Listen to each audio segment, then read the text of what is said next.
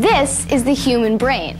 It only weighs about three pounds when fully formed, but it's the most important organ in your body. It allows us to think, move, feel, hear, taste, and smell. It enables us to take in and analyze information and store it for later use. Most importantly, it helps us to learn, to process information, to excel in school or at work, or in almost any endeavor. Having and using this organ to its maximum capacity goes without saying. It also goes without saying that if our brain is damaged, disabled, or made less efficient, it will have a large impact on how smart we are, how successful we are, and ultimately how happy we are.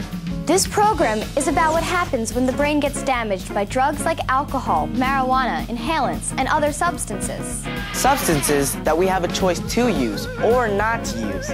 Because when we use drugs like these, particularly at a young age, We are, in fact, literally getting stupid.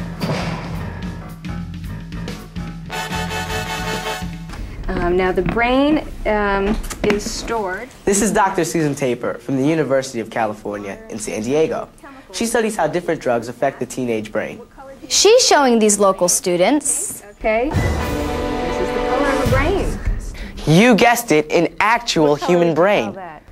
brownish, tannish, Yeah. beigeish. Kind of tannish gray. And there are 150 billion neurons in that brain, in each one of your brains. What was that again? 150 billion neurons in that brain. Okay, okay, let's back it up. First of all, what are the different parts of the brain? And just exactly what do they do? Now, that's a good question. The brain is a complex thinking machine made up of several important areas. The brainstem controls many of the basic functions that most of us never think about. The cerebellum helps us maintain things like posture and balance. The structures in the limbic system are important because this is where we process survival feelings like fear and anger, and pleasurable ones like taste and touch. Two of the largest structures are called the amygdala and the hippocampus. Our brain uses these areas to help remember. The diencephalon helps us control our movement.